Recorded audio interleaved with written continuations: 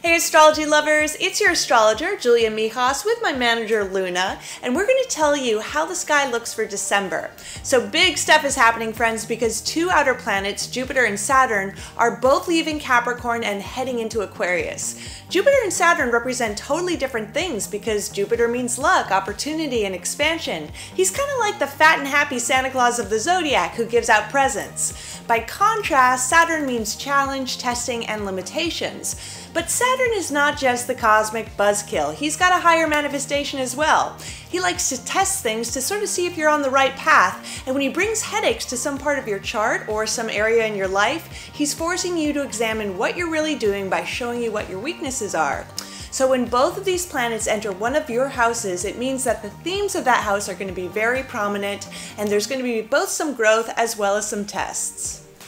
There's also a total lunar eclipse at 23 degrees Sagittarius on December 14th, and this is a highly idealistic and enterprising lunar eclipse where you might want to hit the ground running on some project that wasn't very well thought through. Now, as you aim for the stars, be careful not to steer your wagon into a ditch. There's also a full moon in 8 degrees Cancer on December 29th, and this is a time for finishing up some family or home activity where you can put your own unique spin on things to make life a little more interesting. Now, 2020 has been a wild ride thanks to that historic shit show of a conjunction by Saturn and Pluto.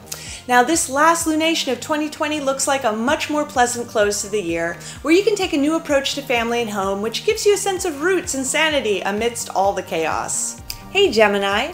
So, both Jupiter and Saturn are popping into your ninth house, and they're going to stay here throughout 2021. The ninth house represents travel, education, law, and promotion. This is a great transit if you're in school or need to learn something new. And if you have a social media presence, then this year is going to give you a boost for self promotion, where you can get more followers and subscribers. Just remember to lay off the contour, okay? And Saturn, the planet of testing, is also going to be here at the same time. That means that you might have some opportunities to travel, but these might end up being work trips or maybe traveling to fulfill some responsibilities. Now, since this is a legal house too, try to keep your nose clean with Johnny Law because court problems can go pear shaped now. Saturn is testing your worldview and knowledge too, so if you get up on your pulpit and act like you know everything, you could also be taken down a few pegs.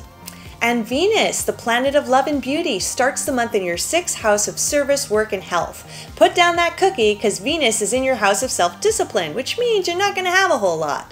This is a nice time for getting along well with the people you work with because Venus also likes to bring harmony and pleasure wherever she goes. Thanks for watching. Me and Luna are about to go for a ride, but we're putting out astrology videos every month, so if you want to hear us talk about anything in particular, please leave a comment below. Ciao for now!